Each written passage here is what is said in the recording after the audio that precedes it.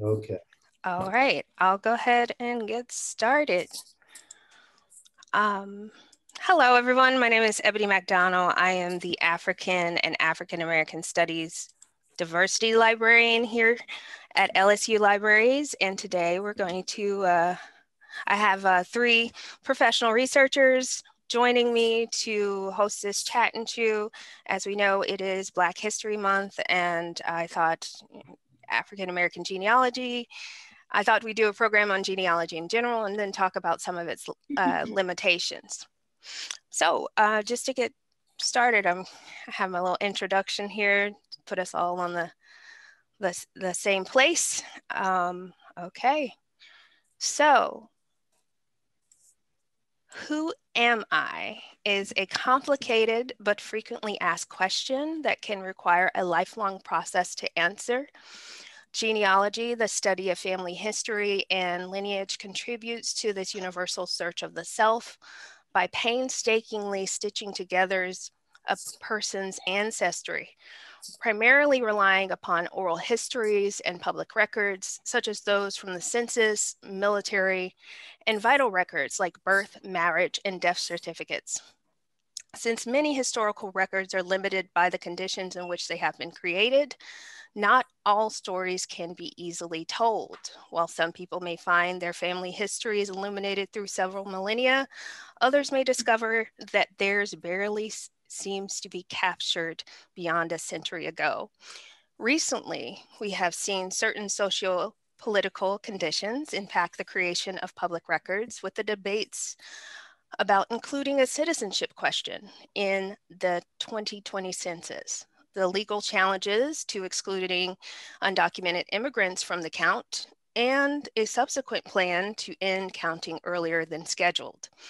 Considering the disparity within the public's historical memory between those who have existed and those whose existence has actually been documented through records, is it really possible for everyone's ancestral story to be told, especially by relying on historical public records? If so, how does one begin to do so? More importantly, why are some stories readily available while others are nearly excluded? In today's chat and chew, we are going to discuss historical identity and public memory as they relate to the practice of genealogical research. I am going to let the panelists introduce themselves by asking them to tell me a little bit more about who you are, what you do, and why.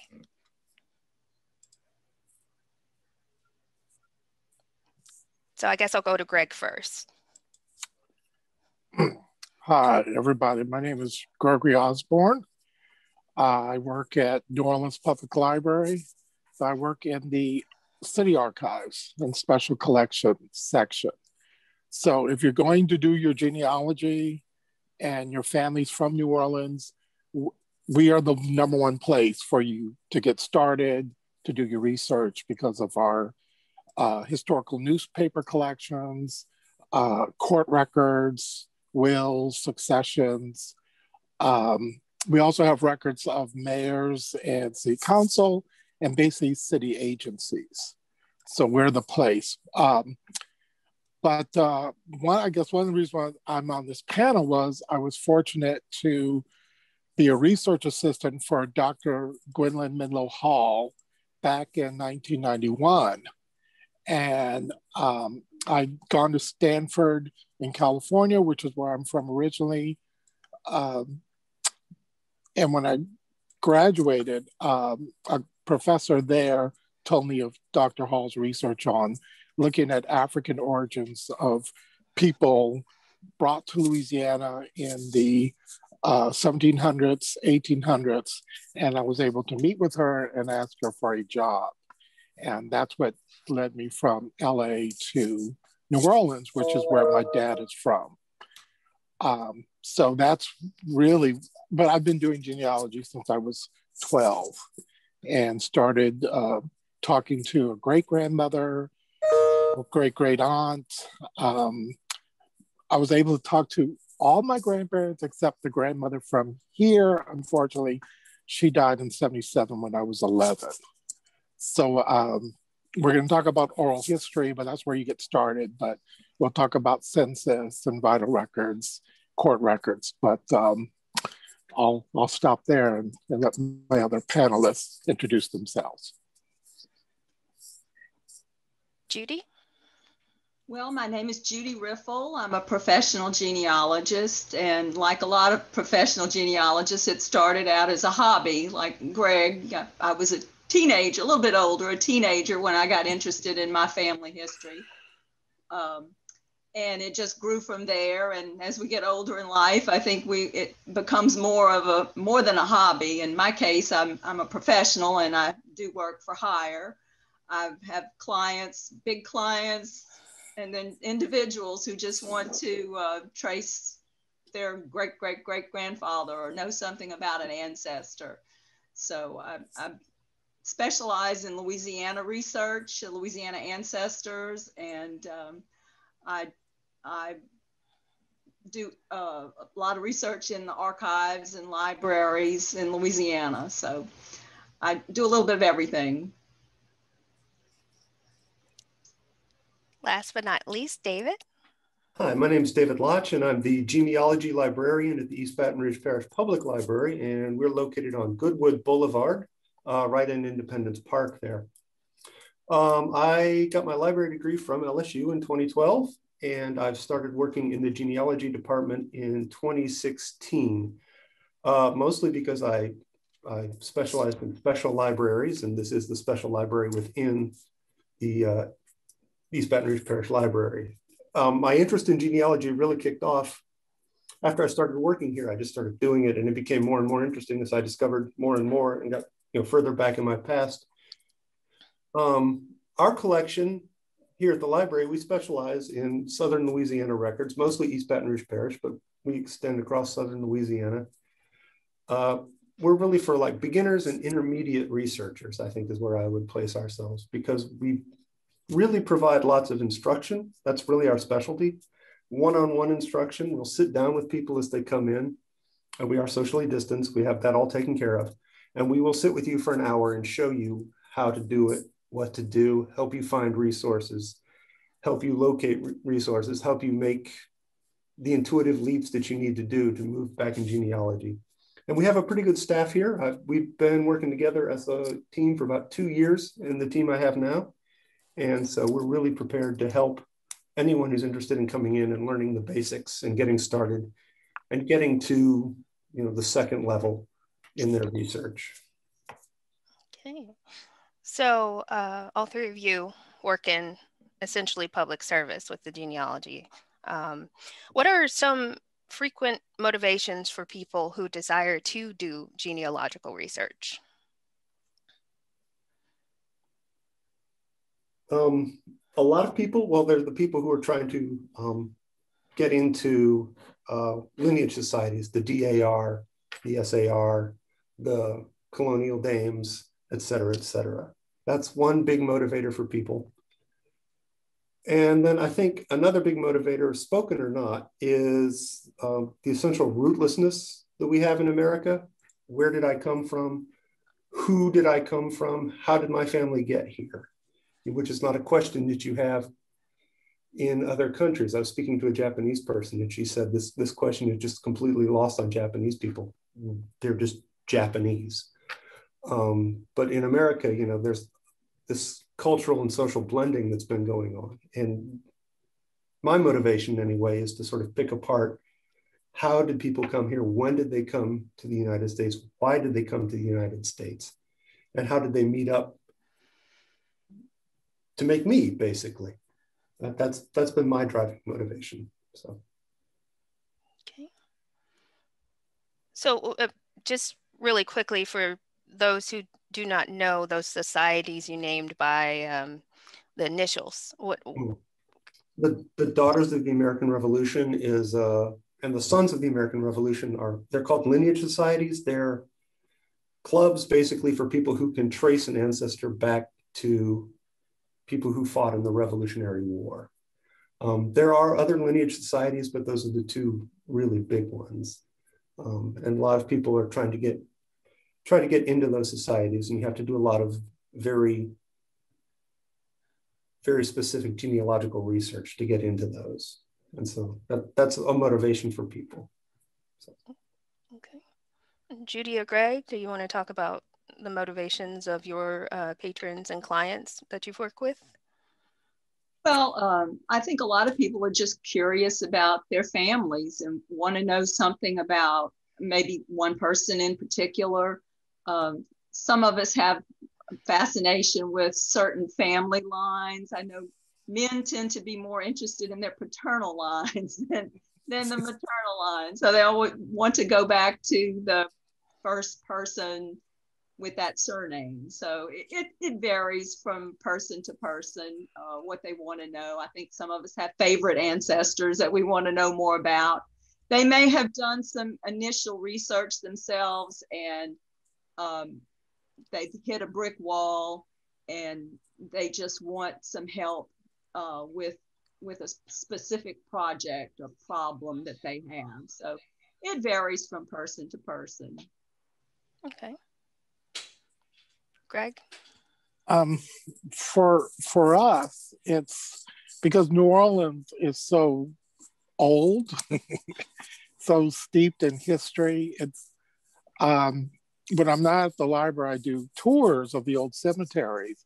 So, well, this was pre-COVID, but um, New Orleans has such a sense of place.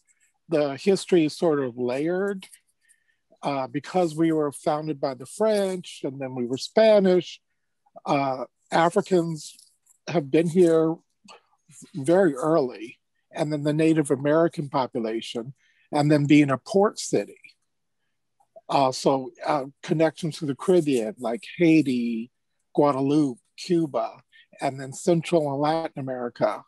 And then um, thousands of Irish, Germans, Italians, and other Europeans came in.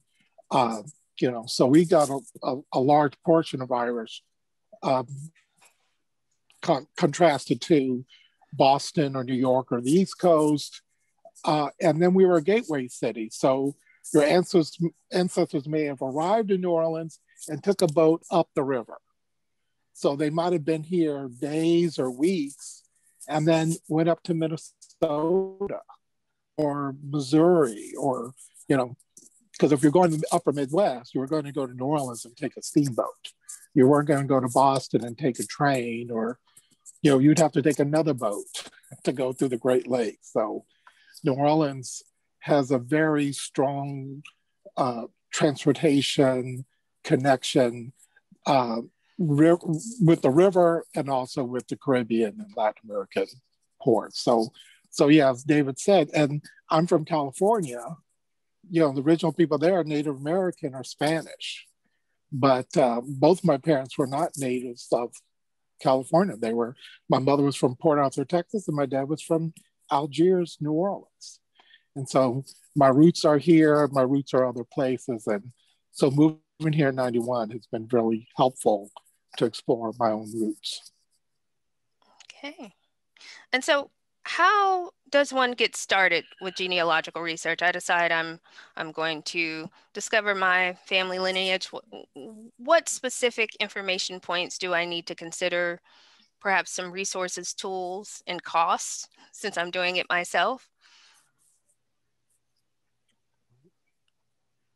Well, if you're starting at the public library, it should be free. Uh, let's start there. Um, uh, I recommend people First thing you do is talk to your family, get the oral histories, go through those old trunks that you have in the attic or under the bed and look for pictures and Bibles and things like that that may have information written on the back.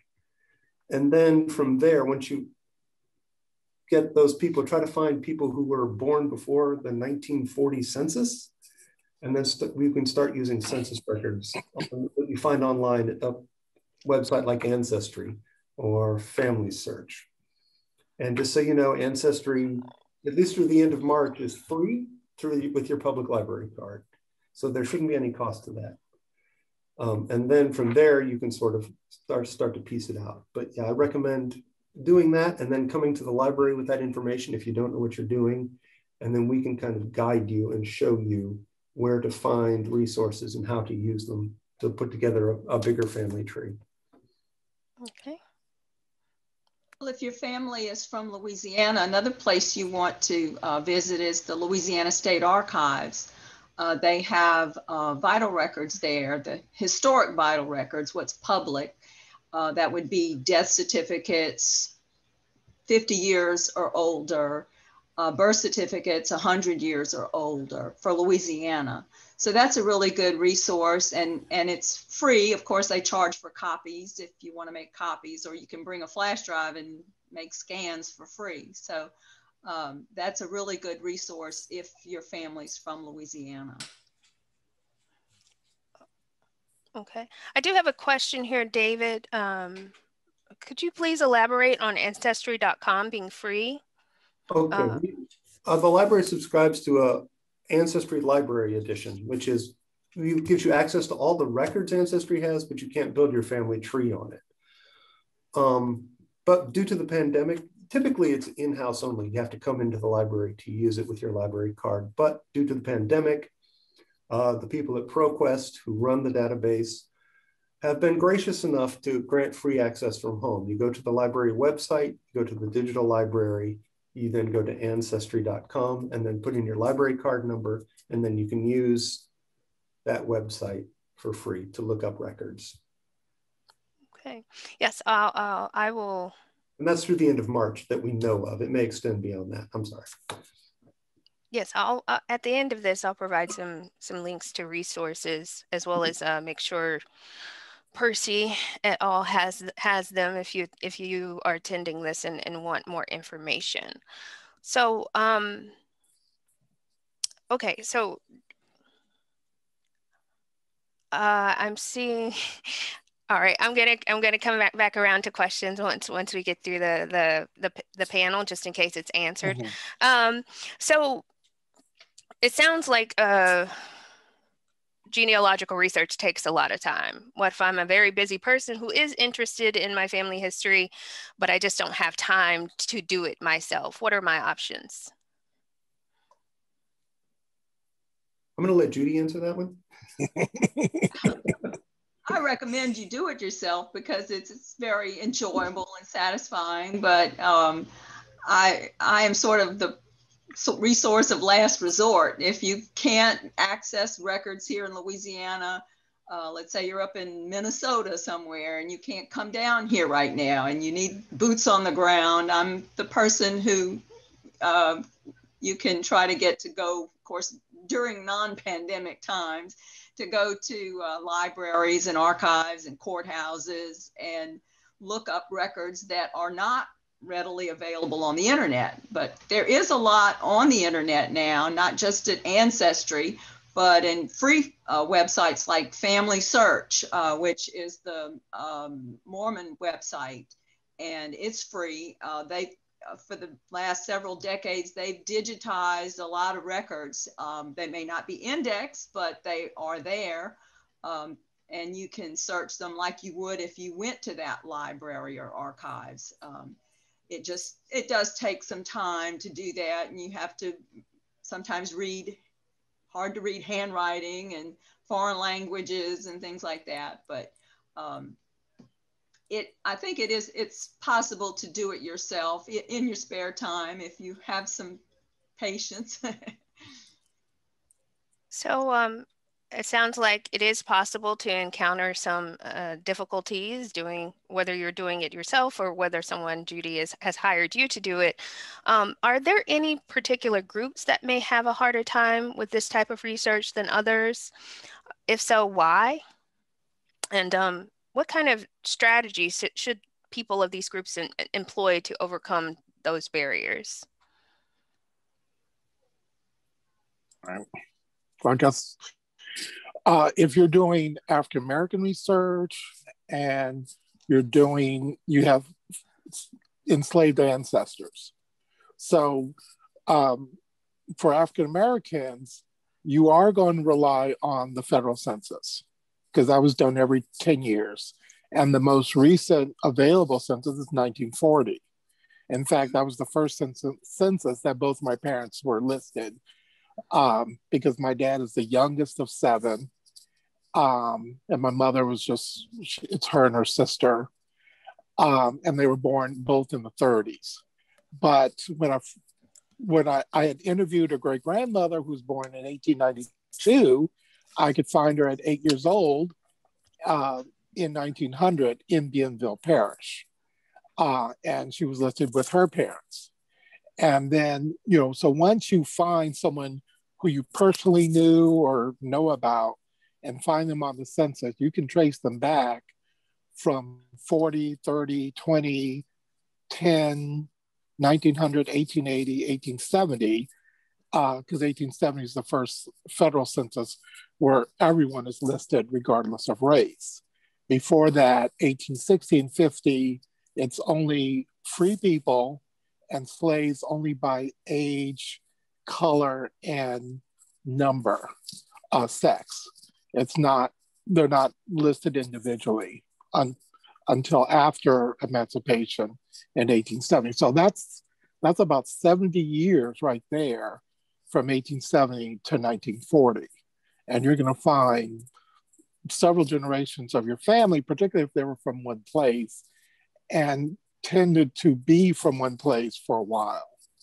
Um, and then finding death certificates uh, after 1914 for uh, Louisiana for people who might have been born enslaved.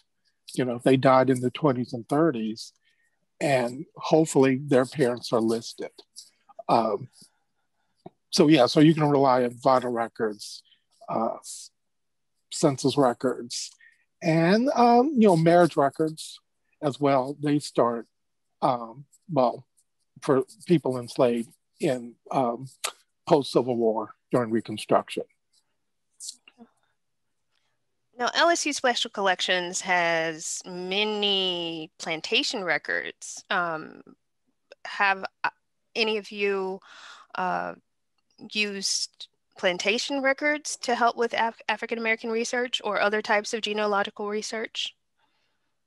I have uh, quite a bit. I've spent a lot of time at LSU looking through some of those papers. Um, they're, I would say, more of an advanced source mm-hmm. um, because they're not very, there are very few indexes. There are some finding aids, and uh, if you're looking for a particular person, it's very difficult, though. You have to look through pages and pages in um, trying to find um, a person. So uh, they're, they, are they are excellent records, but they're very difficult to use because of the lack of indexes, name indexes. Okay. Um, just thinking of, of, of other types of, of, of dif difficulties that one might face, uh, does location, uh, can location impact the types of available records uh, where, where, your family was located? I know, Greg, you, you kind of mentioned this. Um, like, are there any strategies one might consider when researching records pertaining to um, northern Louisiana versus southern Louisiana or um, Baton Rouge versus New Orleans?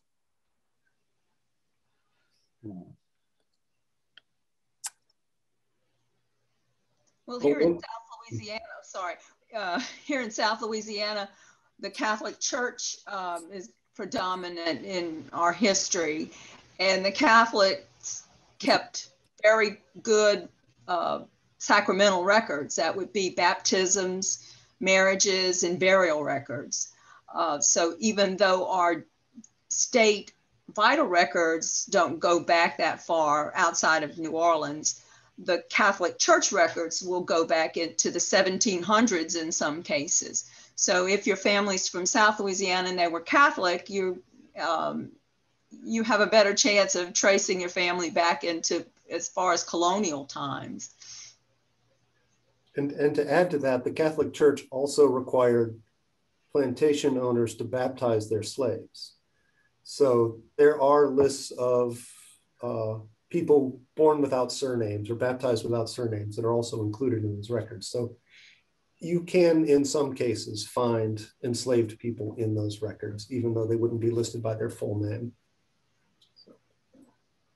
It, it, it can be a resource for African Americans. More difficult to use, of course, as is anything in genealogy for African Americans. But yes, it, it, it is there. Okay. And the next question um, have just, I feel like genealogy in, in the last five years or so has become more prominent in, in the forefront of people's minds because of all these commercialized genetic genealogy services. So how does ge- the, the genealogical research that you do differ from these commercialized databases um, by organizations such as like 23andMe?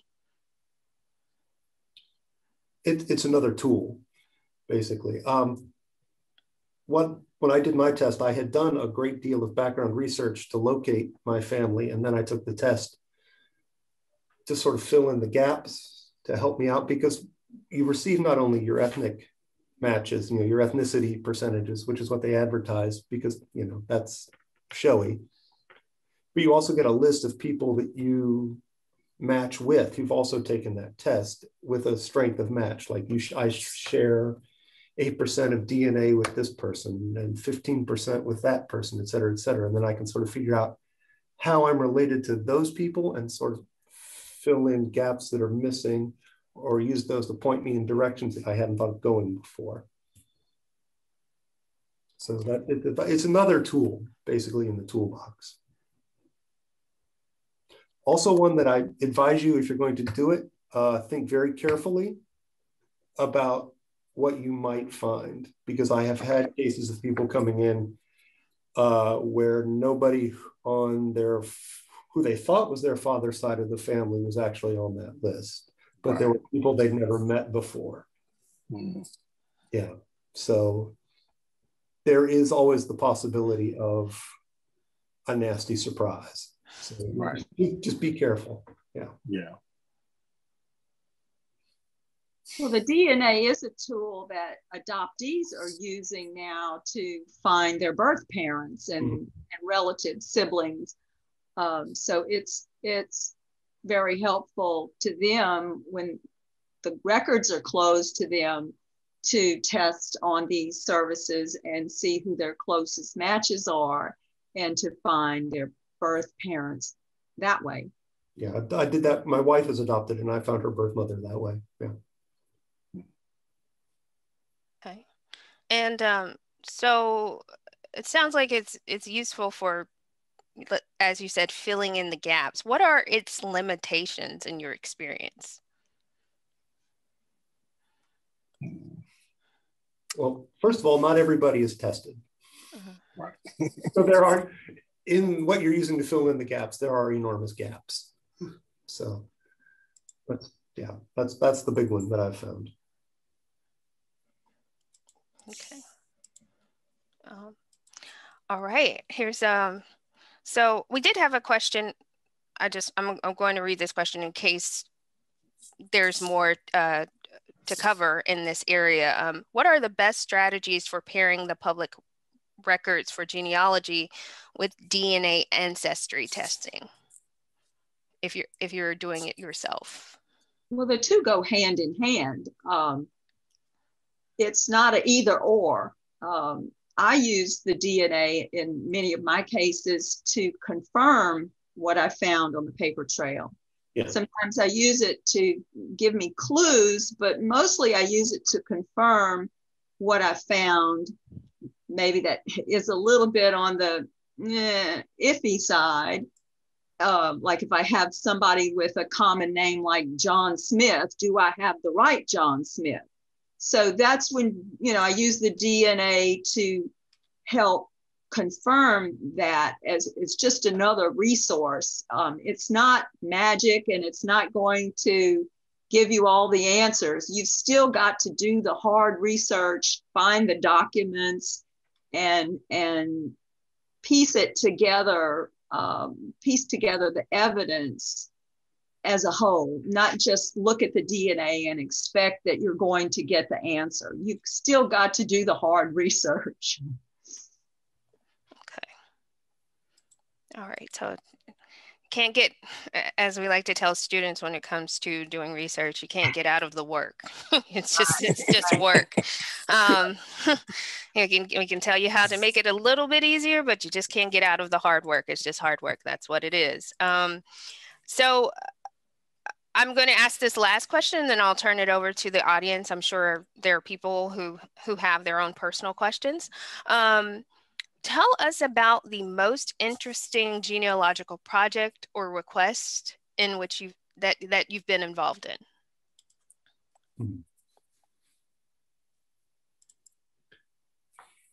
The most interesting.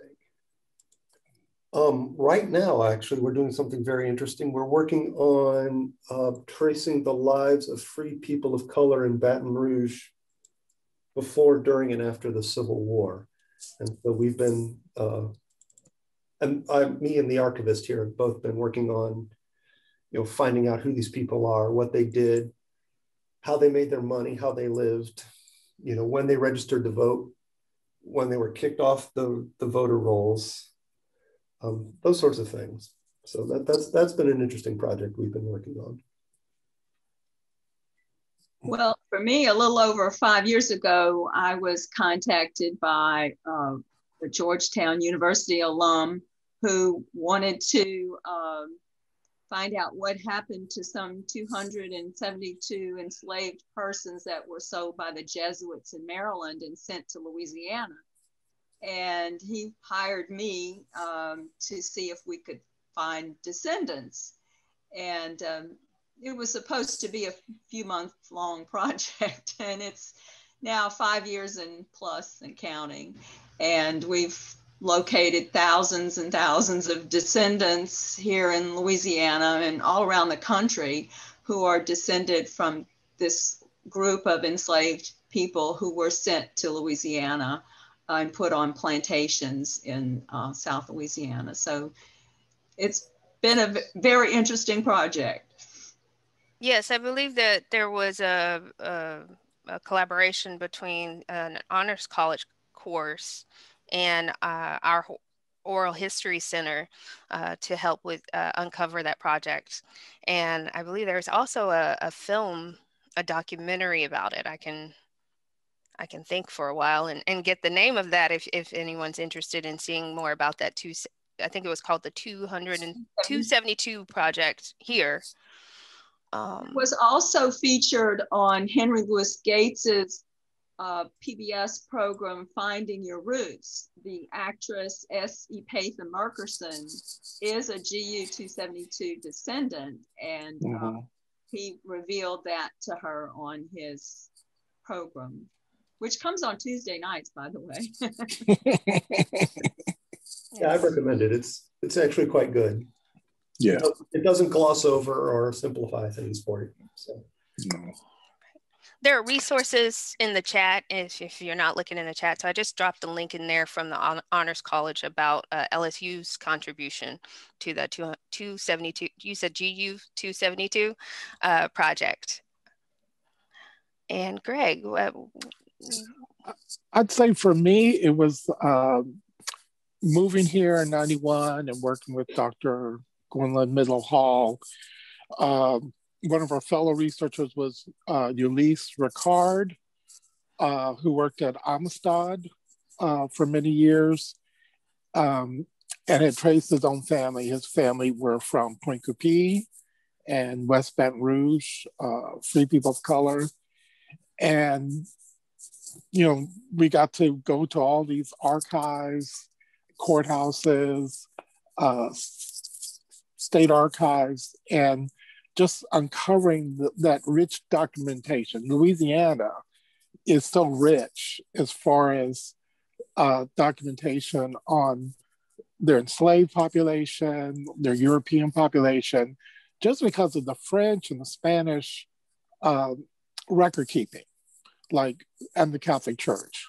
So even, you know, it's not universal that enslaved people will have a baptism or a funeral record or a burial record um, or you know have a will if you're a free person or buying a property so we can document um, daily life um, you know, find a funeral bill, um, or you know, how many shoes somebody had, or what was in their house. You know, so these types of uh, record keeping is, although it's not totally unique to us. I mean, there's other parts of the world that do it, but you know, my other ancestry that's from North Carolina or Georgia, they'll just say you're John Smith, and my wife was Sally. They don't, they don't say who Sally's maiden name is, even though that was your wife. Whereas here, they're going to say who your wife was and who her parents were. You know, so you can on one document you might get grandparents listed on both sides so it's it's it's a rich place as far as uh, documentation. Again, you would have to know some French or Spanish or you know these other languages, but because we're part of that uh, French and Spanish colonial world, it it did give us some more information about the enslaved population and you know where in Africa people were from. So yeah, so I'd say uh, the project that got me here. Okay. Um, since you were talking about record keeping, I have a comment here from Mich- Michelle Carter. Uh, she's talking about a friend posted on social media uh, that several of her family members had names that did not match their official birth records. and so the reason uh, was the births for their African American family members were not done at hospitals uh, these family members were not enslaved, and the family members felt no need to get the records changed. I know my mom claims she has two birthdays because she has the birthday her mom says and the birthday that the hospital ha- has on her actual birth certificate. So, um, could you talk a little bit about perhaps your experiences experiences with with those kind of difficulties and and how you come to resolve that uh, those kind of inconsistency in the records? Well, you have to weigh the evidence. I mean, you have a, let's say a, an age for a child on a census is one year, and then on a tombstone, they have a different age on the tombstone, which is more likely correct. Well, you know, the oftentimes the the date that's earliest, like when they're a child, is probably more accurate than when they were 90 years old and the grandchildren didn't know how old Papa was. so they just say, oh, he's about 90. Well, he was 85. So you have to weigh the evidence and and use your your brain to figure out well which one is most reliable who was the informant who gave that information did the person give that information themselves uh, or did someone else give it let's say on a death certificate someone who didn't know? So you really have to do some analyzing to look at the different sources that you have weigh the evidence and see which one is most likely correct or closest to correct. Okay. I'd like to open the floor up to anyone in attendance who would like to ask a question of our researchers here directly, or you can continue to drop them in the chat. But if you'd like to unmute, could, could someone could someone explain to me on the uh, the ancestry websites when you do the genealogical uh, search and they show you a percentage of ethnicity and race, uh, how how that is uh, how that is arrived? Because uh, my daughter did it and some of the numbers uh, for her just didn't add up, and then her sister, uh, same mother and father, did it and came up with very different numbers. Hmm. My understanding is, you know, what they've done is they've done genealogical testing, I mean, DNA testing in various areas of Europe, Africa, Asia, and they're looking for certain sequences of DNA that are typical of people who live in those areas. And then they take your DNA and look for those same sequences in your DNA, and then it's sort of statistical average. A lot of it is kind of oh. educated guesswork as well. So, I mean, my ethnicity estimates have changed at least three times in the last four years in your website. So, yeah, it's um, it doesn't beat going back and actually doing the hard work. Um, and I, I, tell people like the larger the number, the more likely that that's true. So if you know you're showing 37% West African and 5% Middle Eastern, you can be pretty sure you're there's West African and the Middle Eastern may or may not be. So because mine shows like I'm 2% North African, but I know all my ancestors are German, and I figure it's because in you know the year 800, Germanic tribes invaded North Africa, and that's how that DNA got in there. So, um, just I have a, a question. If, if unless someone from any one of our attendees wants to ask a uh, question. Uh, question. Yes. Uh, David, I believe you mentioned that your wife uh, is adopted. So, yes. how challenging is it for a person if you're adopted to start your own search to find out who your birth parents are? It varies. Uh, my wife's was actually pretty easy because she matched with someone. She had a, a birth aunt who lives in Zachary, who has a distinctive name. So I was able to use that information to go through obituaries and uh, city directories to locate the family and then deduce from that who her mother was. Okay, so if you have no information and on the birth certificate is the actual birth parents, if you're totally starting from scratch with zero. the birth parents will not be on the birth certificate of an adoptee. I mean, the adopted parents are on the um, birth. We use the DNA test. That's that's where I would start. Start with a 23andMe or an ancestry test because those are the two with the largest databases. And then you can also, for Ancestry at least, you can port your results over to some of the other websites, um, like Find My Past, not Find My Past, um, Family Tree DNA. Family Tree DNA, the other F one. Um, Wait, what was it? Family Tree, what was it again? Family Tree DNA. They allow you to, you can download your your results from Ancestry and re- upload them to Family Tree DNA. Um, and then that way you expand, and then you look for people you're closely related to on those sites. The higher the match, the better. And then you try to figure out their family trees, looking for, you know, several, find two or three of those people and try to find a common ancestor for them and then you can work your way back down to where you are. It's, it's complicated and it can take a long time, um, depending on how close the matches are. Now, if you find somebody who's, you know, a 50% match and it's your parent, boom, you win. You know, if you find a brother or sister, you know, that's easy. But if, you know, the more distant the matches are, the more difficult it becomes. Okay, thank you. Yeah. It, it's there's not one easy answer, I'm afraid. Mm-hmm. I have a question in the chat. Any suggestions for finding illegitimate children in families since they may not be listed in uh, the official family records?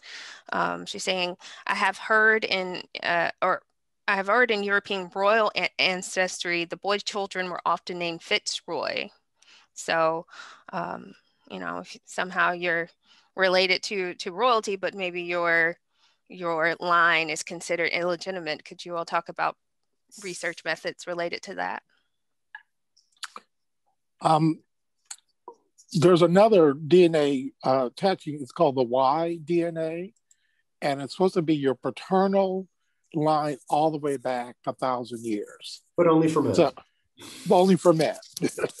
there's the, the maternal DNA test, you know, you can find out where's your mother's mother's mother from.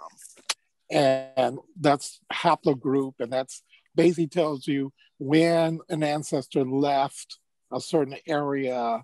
You know, we're going back thousands of years. But if you're talking about, it depends on you're talking about recent history, illegitimacy, 100 years ago, 500 years ago. So the Y would be for any period time going back, uh, yeah, you you might find out you have a common male ancestor, but again, it's for males only.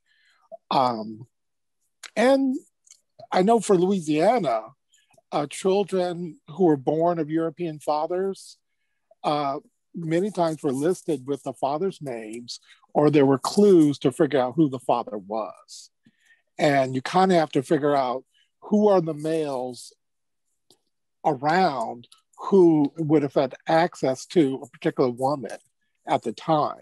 So even though you might not get the smoking gun, you can get it down to three, four people, you know, figure out are they old enough to have this child? Um, you know, particularly in if someone fathered a slave child or uh, at least on Louisiana, it was a lot easier than, and even on my mother's side, um, who are not, they were from North Carolina and Georgia, the father's name was on the death certificate of one of his children who was born by a slave woman. In fact, and her sister was there too. So even though I'd found evidence in the census, I got more confirmation from two death certificates of these two great great aunts that yeah, their father was this guy named David Wimberly. So um, so sometimes it's a little bit hard, sometimes uh, it's it's right there. So it sort of just depends.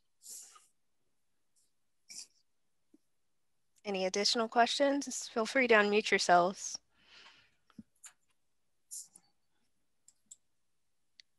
I don't have a question. I just have a another one of those complicated examples, if you will. Um, I grew up in foster care, and I have um, I have a birth certificate, and my mom, when she had kids, she was married but separated, and so none of the kids except for her first child are really for the man who was her husband on paper. But we all have listed the the um, the, the the man she was married to. And so I always think about how going forward, you know, uh, future descendants, if they were to go back and look at my records, uh, what's listed is not accurate. So then I always just think about other people who have similar circumstances. It may not be the same situation, but just those inaccurate records and how they can impact, you know, anybody's search.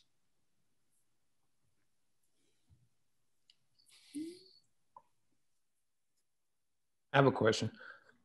Um, in terms of like the photos, how can they play a role in the genealogy? Because like in my household, we have boxes and boxes of old photos, and of course, a lot of them don't have dates or anything of that. What are how can they play a role in, in that historical perspective and what are some ways that we can um, or resources that we can use I myself can use to kind of um, digitize them or kind of keep them in a really good collection for future generations to come well the reason i brought up photographs first is like a lot of times people write on the back you know aunt martha 1892 you know or aunt martha and uncle james 1890 you know whatever. So you can sort of you know know who these people are in the photographs and put them in a time and a place.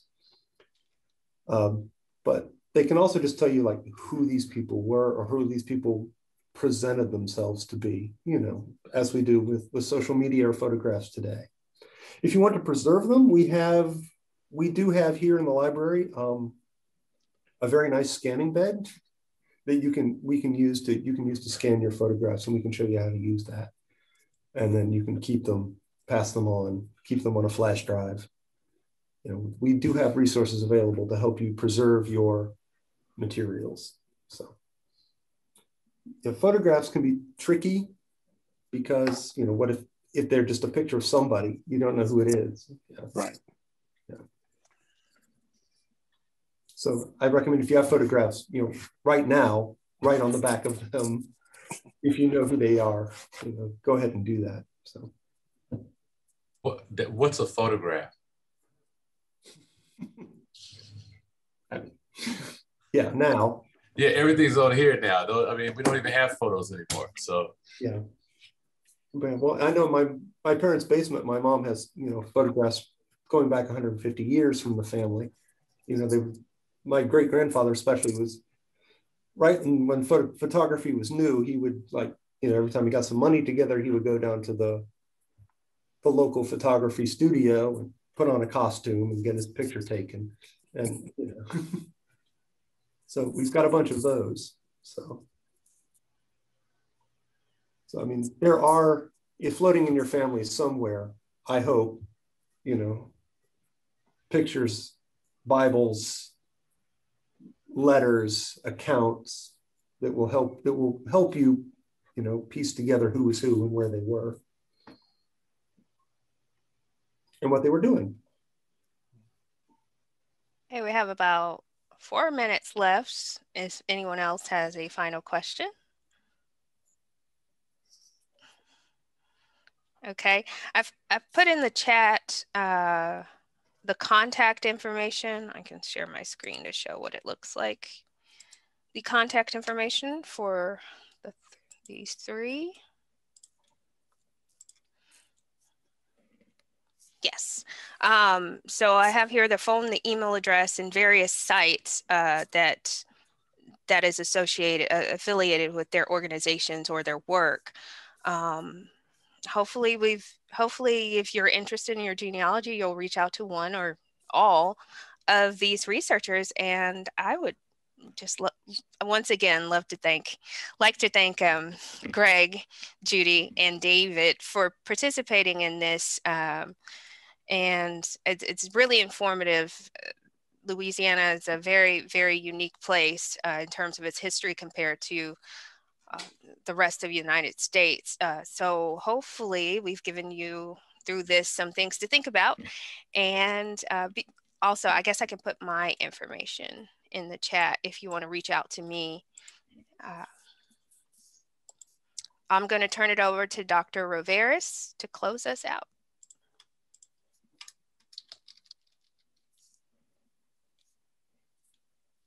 You're on mute, Dr. Rovaris. This is my first time using Zoom. I'm not really used to this format. Uh, I want to thank you, Ebony, for your work in moderating and hosting and putting this together. Uh, great, great job. Great panel. Um, I was teasing our panelists before we met uh, that if they did a good job, we'd invite them back to our next chat and chew. If they did a bad job, we wouldn't want to see them again. But we'd love to have you all join us again and again for uh, subsequent chat and chew uh, opportunities. We'll have various topics and discussions